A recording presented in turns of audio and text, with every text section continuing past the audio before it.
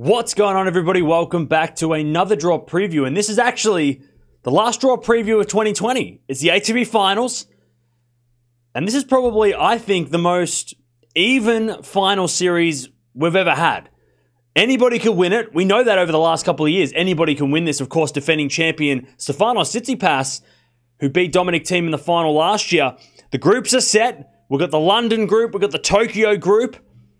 Let's go to the groups and have a look at who got put in what group. Okay, so the Tokyo group, which is the Djokovic group, he has to play Daniil Medvedev, number four in the world.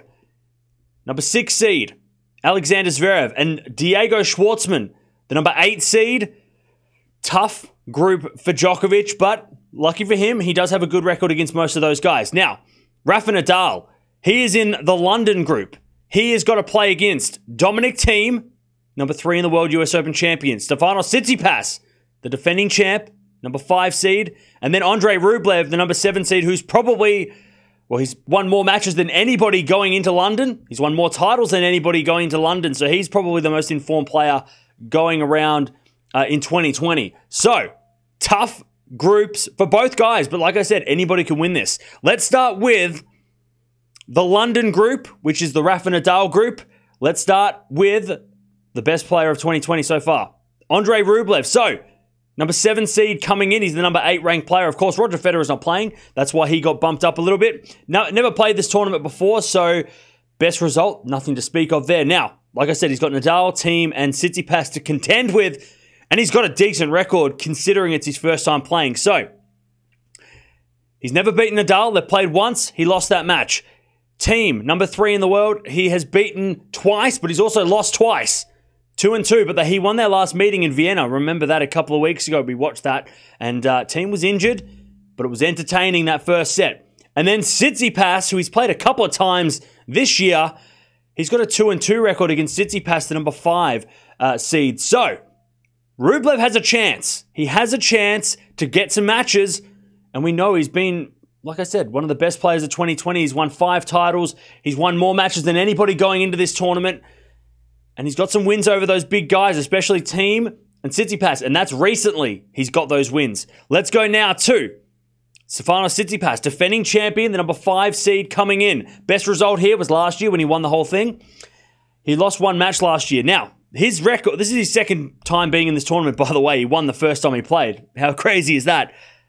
His record is four wins, one loss. The one loss was against Nadal, who he's going to have to play in this tournament. So, first up, he's got to play against Nadal, the number two uh, seed, obviously number two ranked as well. One win, five losses against Rafa, and the one win actually was on clay, which is kind of a bit crazy. Like I said, they played here last year, and Rafa got the win. Thiem, he has a three and four record against Thiem, so he's won three, lost four against Dominic Thiem. That could be an interesting matchup if they play. Of course, they played here in the final last year, and Tsitsipas won. Rublev, number seven seed in this one. He's got a two and two record against, but he does have a recent win. I think he won at the French Open against Rublev. So under a bit of an injury cloud as well, Steph. So we've got to keep an eye on him uh, physically to see how he does. Because he did lose early in Paris, and he said that there was a leg injury going on. So we'll keep an eye on his fitness. But he is the defending champion and has a pretty decent record against a couple of guys, Rafa being the exception. Let's go now to Dominic Thiem, the US Open champion, number three seed, number three in the world. His best result here was the final last year. He's he's been here. This is his fifth time being here. His results six uh, six wins, eight losses. So not great at this tournament. A lot of those wins coming last year when he made the final. He had a great great tournament last year. He beat Djokovic and Federer uh, to get to the finals. So he played very well to play know, to to get to that point last year and had a chance to win it all. Rafa, he's got a 5 and 9 record against Rafa, a lot of those on clay court. If they play on a hard court, maybe Thiem has an advantage. We'll keep an eye on that match. That'll be interesting. Tsitsipas, he's got a winning record against 4 and 3 and against Rublev it's 2 and 2. So again, anything could happen in this group. Thiem could get through. He could win the whole group. The Rafa match will be crucial because you think he probably well, he should beat the lower ranked guys. But again, those guys are in form, so who knows? But he has to beat Rafa, I think, to get through. Let's go now to the man himself, Rafa Nadal, who's never won this tournament. He's made the final twice back in 2013, 2010, but he's never won this event, the elusive ATP finals that he never he's never won. He can never get the win here. There's his best result. 20, uh, 2013 was the last time he made the final, of course, 2010 as well. This is the 10th time he's playing this event. 10th time and never won it, which is rare because Rafa wins everything. 18 wins, 14 losses. Not a great win loss record there, uh, considering how many times he's played. He's only made a couple of finals. And he's got a tough group, but a, a winnable group. Rafa fans, he's got a winnable group. He's got to play Dominic Thiem, who he has a 9 and 5 record against, but like I said, a lot of those are on clay, so we'll keep an eye on that one. Tsitsipas, he's got a 5 and 1 record against, including the win here last year at this event. So, he has that confidence there. And of course, Rublev, he's only played the one time and he won that match.